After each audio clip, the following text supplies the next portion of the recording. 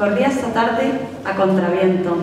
Uno de mis grandes placeres, ya lo sabes, es estrellarme contra lo elemental, pero siempre que no sea demasiado duro, es decir, que no ceda demasiado pronto, algo que a un invencible parezca poder ser vencido de un momento a otro, un momento más y ya es nuestro. El sistema del filósofo es su propia biografía. Escribir es defender la soledad en la que se está. Escribiendo se salvan las palabras. Hay en el escribir un retener las palabras, como hay en el hablar un soltarlas, un desprenderse de ellas, que puede ser un desprenderse ellas de nosotros. Escribir para encontrar el secreto. Aquello que no puede decirse es lo que se tiene que escribir. Ha llegado el momento de ser fiel aquello que pide ser sacado del silencio. Las palabras siempre serán insuficientes, pero cuando conforman una frase, a su ritmo, la frase conforma la experiencia, la hace comprensible. La frase pone en ritmo las cosas. Esta noche voy a soltar algunas palabras que se me cargan en el cuerpo desde hace ya tanto tiempo. Decía Hannah Arendt en la medida que pueda llegar a superarse el pasado, esa superación consistiría en narrar lo que sucedió. Decía Empédocles que hay que repartir bien el logos por las entrañas y yo necesito un nuevo reparto y hacer hueco, desterrando algunas palabras oscuras de mí, porque sí, tengo muchas, muchas palabras y mucha oscuridad. En mi parecer que las mujeres que aquí nos subimos no buscamos propiamente no solo expresarnos, sino la metamorfosis en la propia manifestación de nuestros íntimos pesares de seres a medio nacer. Que sin haber nacido del todo, todavía deliramos en busca de nuestro argumento último, de nuestro esqueleto, descendiendo hasta la más oculta y radical razón prisionera la del balbuceo, allí donde, que nace allí donde reside el poder del cuerpo, donde la sangre en su vida se lleva la palabra. Hay que escapar del delirio, que es sentirse mirado sin ver, es sentirse mirado no pudiendo ver a quien nos mira. Pues nada importa que la vida sea la propia para que permanezca inaccesible. El hombre es de tan singular condición que necesita que se le revele lo más íntimo suyo, su propia vida. Encontrar así el argumento íntimo que se repite, esa pasión, ese padecer que no acaba nunca de pasar entre tantas cosas que pasan. Hay algunas que son el soporte de un argumento, de una pasión que no terminan nunca de pasar. Como si toda la vida fuera agotar ese argumento en distintos planos, es aquella única pasión. Hay quien la cura y hay quien la disuelve.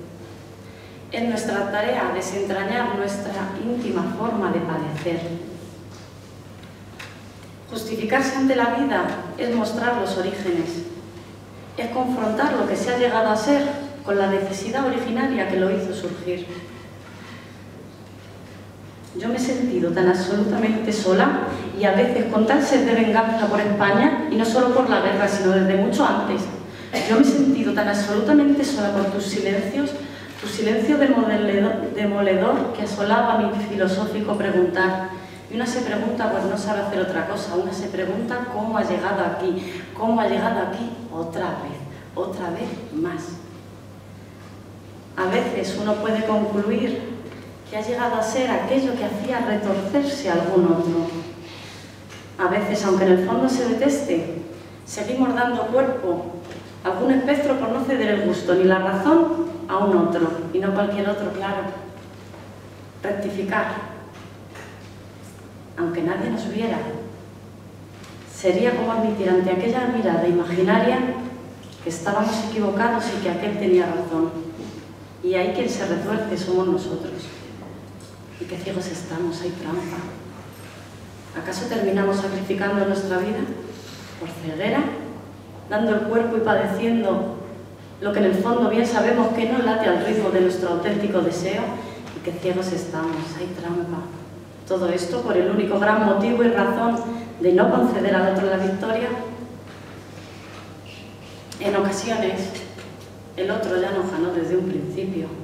Vamos usted saber por qué, pero nos engañó en el inicio. Quizá éramos apenas un chiquillo y ese otro ya venía de vuelta, cada quien.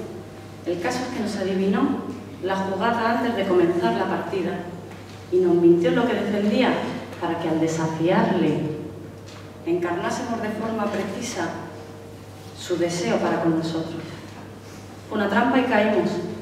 Y también crecimos, ya no somos niños, aquí estamos, con humildad suficiente para entregarles su trofeo, con la mejor de nuestras sonrisas, la de que ya nos comprendimos. Y lo celebramos saliendo del camino recibido. Celebramos que hoy salimos de una vida entrampada por el peor Dios, perdón, por el, por el peor verdugo, el Dios desconocido que habita en nuestro interior con miedo sí, temblando y andando, andando para apropiarnos de nuestra palabra, para escuchar y acompasarnos a nuestro propio ritmo y dejar nacer la poesía del porvenir.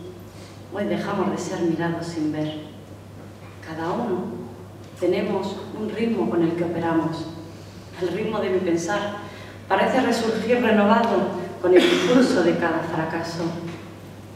Estoy aprendiéndome el ritmo el corazón está a punto de romper a hablar. Yo me he sentido tan absolutamente sola ante tu silencio, yo me he sentido tan absolutamente exiliada de tu palabra, que bajé a los ínferos y removí parte por parte. Hice de la tragedia mi centro creador. Empecé a rimar silencio con silencio y a subir peldaño tras peldaño y a extraer de la melodía el argumento. Estoy destilando el ritmo a la historia de nuestros silencios, tus silencios, mis silencios, la música sostiene en el abismo a la palabra. Filosófico es el preguntar y poético el hallazgo. La palabra de la poesía temblará siempre sobre el silencio y solo la órbita de un ritmo podrá sostenerla. Estoy aprendiéndome el ritmo. El corazón está a punto de romper a hablar. Mi nombre es María Zambrano, tengo mucho que decirles. Aseguro que lo mejor está por venir. Gracias.